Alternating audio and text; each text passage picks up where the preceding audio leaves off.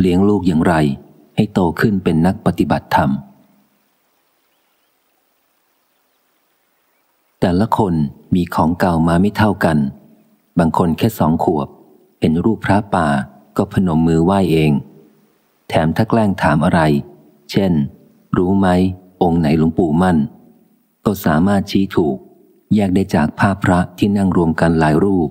เป็นที่ขนลุกขนชันของพ่อแม่ปู่ย่าตายายกัน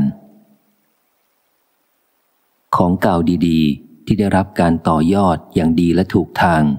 จะกลายเป็นภพชาติที่ตั้งมั่นของการเป็นนักปฏิบัติธรรมในเวลาอันรวดเร็ว แม้ของเก่าที่พอใช้ได้ ถ้าหากเอามาใช้ให้เต็มที่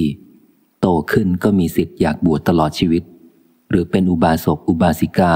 ผู้ประพฤติธรรม และอุปธรรมพุทธศาสนาเต็มตัวกันจริงจัง รู้ตัวกันได้ว่าเกิดมาเพื่อสิ่งนี้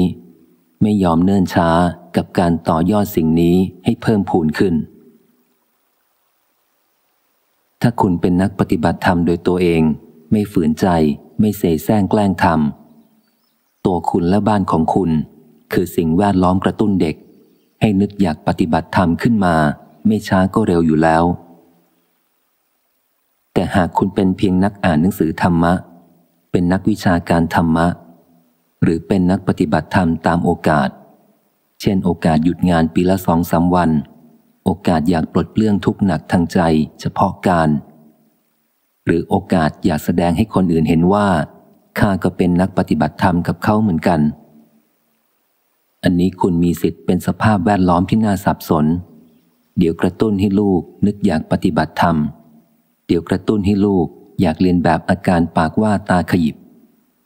พูดดีวันนี้อย่างหนึ่ง แล้วไปทำไม่ดีเป็นตรงข้ามอีกอย่างหนึ่งในวันหน้า เป็นแม่แบบต้นตรงปลายคดให้กับลูกโดยไม่รู้ตัว ธรรมะมากับความตรงและความคงเส้นคงวา ถามตัวเองว่า คุณมีอะไรที่ตรง มีอะไรที่คงเส้นคงวาในทางธรรมบ้าง เหล่านั้นแหละคือแม่แบบทางธรรมที่แท้จริงสำหรับลูก ข้อคิดและการสอนเป็นคำคำอาจถูกตะแกรงสมองของลูกร่อนออกเหลือนิดเดียวจำได้บ้าง ไม่ได้บ้าง แต่พฤติกรรมที่เกิดขึ้นเข้าหูเข้าตาลูกทุกวัน นั่นแหละที่ลูกจะไม่ลืม เพราะมันกลายเป็นส่วนหนึ่งของความเป็นตัวเขา คนเราย่อมไม่ลืมสิ่งที่เป็นส่วนหนึ่งของตัวเอง